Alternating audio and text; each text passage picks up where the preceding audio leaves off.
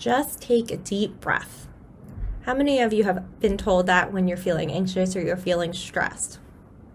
How many of you actually know why that helps?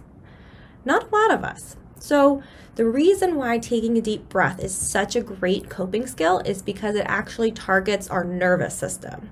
The nervous system is one of our body systems that is responsible for a ton of involuntary actions like our heart rate, our breathing, our digestion, things like that, that we don't consciously, um, we're not consciously aware of. So the nervous system is actually broken down into two separate systems the sympathetic nervous system and the parasympathetic nervous system. The sympathetic nervous system is what's responsible for our fight, flight, or freeze response. Those are the actions that we engage in when we're feeling anxious, scared, emotions like that. The parasympathetic nervous system controls our rest and relax responses. So those are the things that are calming us down when we're feeling upset or anxious.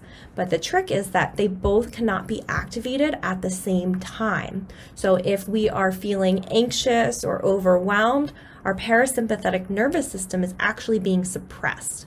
By taking deep breaths and really focusing on that, we're allowing for more carbon dioxide to enter our blood, and that helps to quiet down parts of our brain, like the amygdala, which is responsible for our anxiety and fear responses.